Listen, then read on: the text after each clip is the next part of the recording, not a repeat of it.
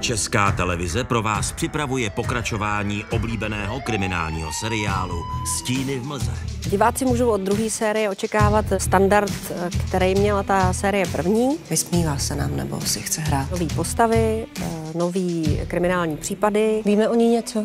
Díra v hlavě, to nemám rád. Samozřejmě tam bude ještě v každém díle nějaká vraždička, na které budou Magda s Martinem pracovat. Doufám, že to je pro všechny, kteří mají rádi kriminálky, Vrah odstranil vraha. ale taky pro ty, kteří mají rádi vztahy mezi lidma. Přemýšlela jsi někdy o tom, že s tou prací skončíš?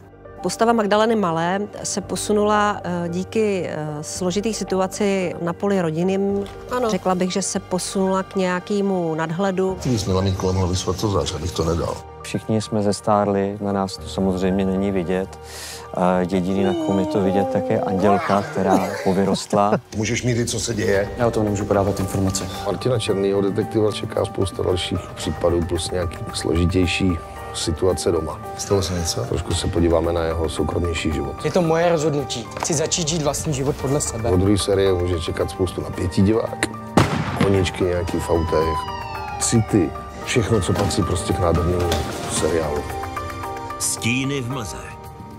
Vrátí se. Nové díly již od ledna v České televizi.